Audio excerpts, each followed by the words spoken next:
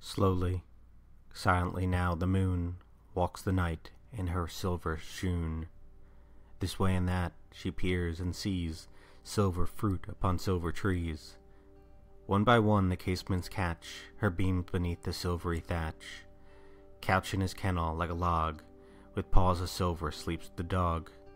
From their shadowy cote, the white breast peep Of doves in silver feathered sleep.